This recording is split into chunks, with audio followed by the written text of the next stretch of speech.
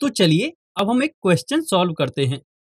इसमें हमें function given है x into sine three X और हमें इसका इंटीग्रेशन करना है। तो अब हम इसका सॉल्यूशन डिस्कस करते हैं। सबसे पहले हम u एंड v फाइंड करने के लिए आईलेट रूल यूज़ करेंगे। तो यहाँ हम देख सकते हैं कि यहाँ दो फ़ंक्शन है, पहला है एल्जेब्रिक एंड दूसरा है ट्रिग्नोमेट्रिक एंड आइलेट के अकॉर्डिंग भी एल्जेब्रिक पहले आता है। इसलिए हम x को u and sine three X को v कंसीडर करेंगे।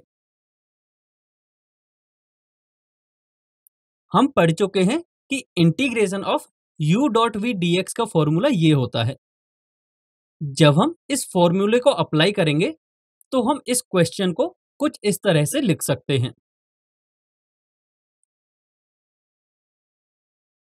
इसको हम आगे सॉल्व करेंगे तो हमें आंसर मिलेगा minus X into cos three X upon three plus one by nine into sine three X plus integration constant C